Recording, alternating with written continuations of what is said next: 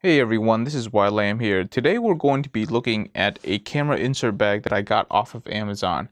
If you've been looking for something to store your camera equipment while you're at the house or you wanted uh, an insert bag like this for a backpack or some sort of bag that isn't a dedicated camera bag, these are a great option if you go to a place like B&H or Adorama, these things can get really expensive really quickly. So I actually went onto Amazon, found these, and I found the features of these to be great, and I just wanted to share with you.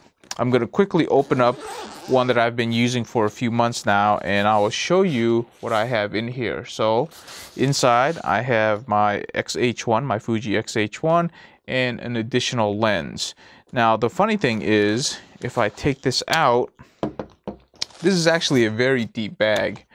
And what I have underneath here is actually some memory foam to take up some room. And if I take this out, drop the camera back in, you can see how deep uh, the um, the bag actually is. So you can actually stuff a lot more on top of the camera, some maybe lens filters, a microphone, anything you would like. For my purposes, I don't need it to uh, fill that, so I use memory foam for a little extra protection. In fact, depending on where you know the item lies, you know if it, if I'm going to put stuff on top of the camera bag, I might put the memory foam on top, therefore giving me a little bit more extra extra cushion for my camera equipment.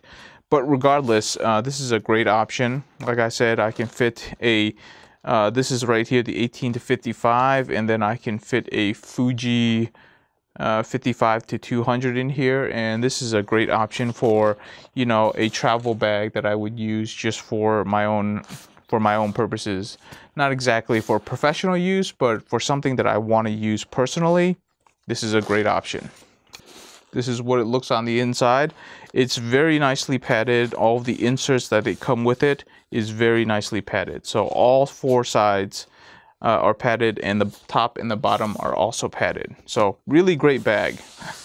Let me go ahead and show you a completely new one. So I just got this one, which I'm going to use for my GH5, which I am recording with right now. So this is how it comes in. I'm going to go ahead and open it up, show you what you get with this particular bag.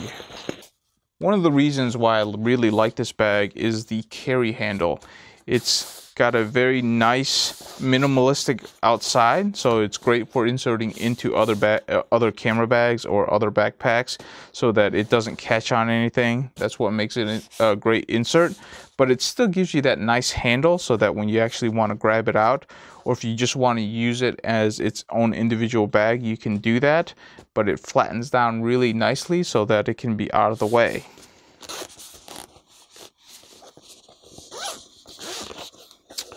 when you open it up, this is what you get naturally.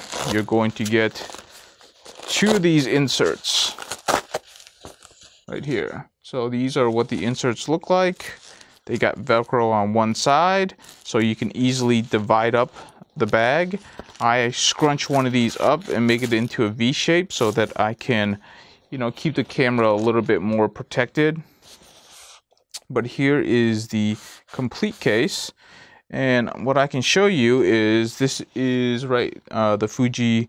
Uh, let's see. This is the Fuji 50 to 140. So this is the uh, 70 to 200 equivalent. And as you can see, if I fit it in here, plenty of room for other things. So you can definitely fit some uh, good equipment here for your crop sensor uh, cameras or your micro four thirds cameras. A couple little details that I want to talk about are on these zippers, you have these nice little drawstrings with these nice little tabs so that it makes it very easy to pull back and forth. So that's really nice.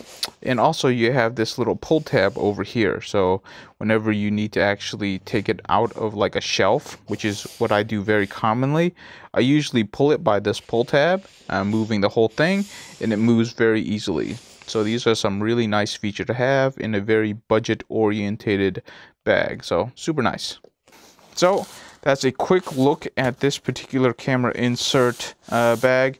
Really love it. Uh, the outside, uh, great material, doesn't really stick to anything. And it makes a great storage bag for the home use. And then you can just easily grab and go with it, stick it into another bag, or just uh, use this as its own individual bag, and it should work great.